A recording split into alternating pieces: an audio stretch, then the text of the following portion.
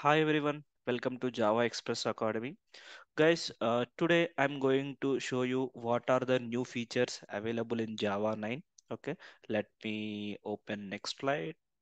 Uh, in Java 9 features, what is the first feature is called JPMS. It is very, very important module in Java 9 onwards. The complete JDK structure is changed. JPMS is nothing but Java Platform Module System. This is the first feature. And then we have another feature called Java Linker.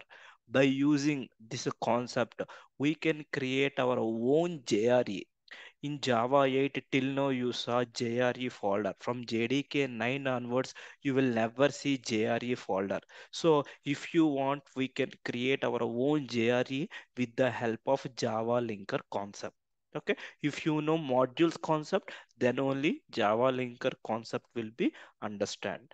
And then we have a JShell. It's kind of a uh, to simplify small coding problems uh, without having your Eclipse or normal Java file. Directly, you can execute commands in JShell here and another API level changes like a uh, private methods in interface. In interface, we can define private methods. This is a Java 9 feature and try with resource enhancement. This feature is already available 1.7 and 1.8. In 1.9, there is some enhancement available. That is another feature. And process API updates.